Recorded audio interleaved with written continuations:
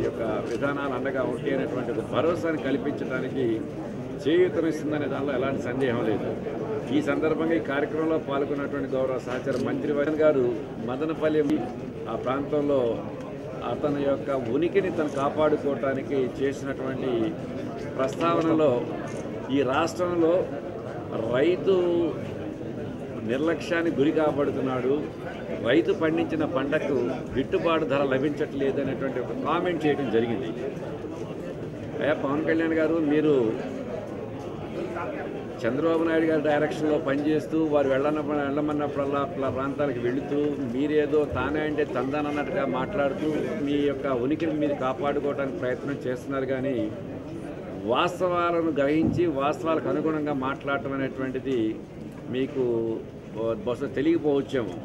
ఇక్కడ వాస్తవం కొందరు దానికి వ్యవసాయానికి అనుబంధంగా ఉన్నటువంటి శాఖలకు సంబంధించిన మంత్రులను కమిటీగా ఏర్పాటు చేసి ప్రతి నెల కూడాను ఈ రాష్ట్రంలో వ్యవసాయదారుడికి ఎదురవుతున్న సమస్యలు ఏంటి? రైతు పండించే పంటకు గిట్టుబాటు ఆ మూడు వేల కోట్ల రూపాయలు రూపాయి రెండు రూపాయలు కూడా కాదు మూడు వేల కోట్ల రూపాయల ధరల స్థిరీకరణ నిధిని ఏర్పాటు చేసి రైతు పండించిన పంటకు వాస్తవ మార్కెట్లో మినిమం సపోర్ట్ ప్రైస్ లభించగా రైతు నష్టపోకూడదు అనేటువంటి ఆలోచనతోటి అలాగే మినిమం సపోర్ట్ ప్రైస్ పరిగె పరిగణనలోకి రానటువంటి పంటలను కూడాను గిట్టుబాటు ధర లభించే విధంగా గిట్టుబాటు ధర కన్నా కూడా నష్టపోయే విధంగా ఉన్నప్పుడు రైతును ఆదుకునే విధంగా అనేక రకాలైన చర్యలు తీసుకోవడం జరుగుతుంది.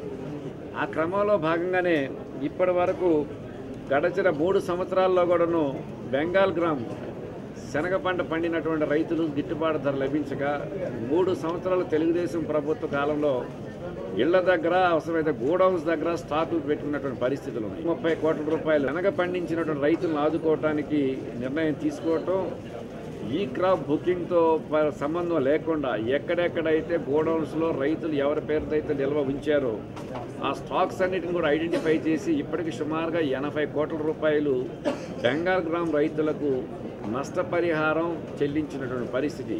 ఇటువంటి ధరల స్థిరీకరణ నిధి నుంచి మీట్ అవుతున్న పరిస్థితులు ఉన్నాయి.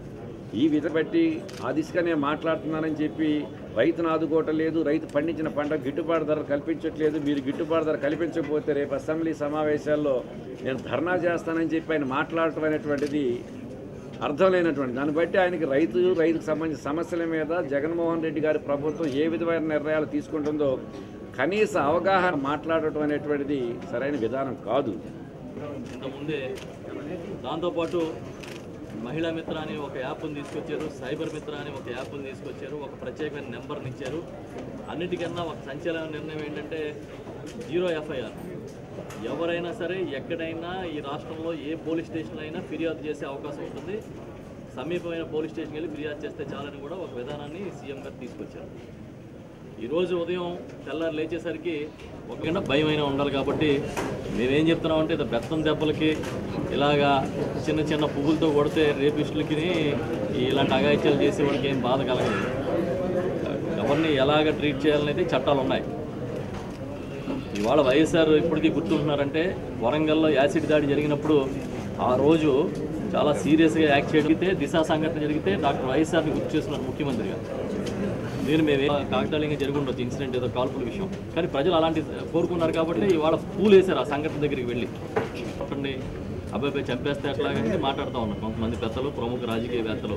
స్ట్రాంగ్గా ఈ ప్రభుత్వం నిలబడిందని చెప్పదలుచుకున్నారు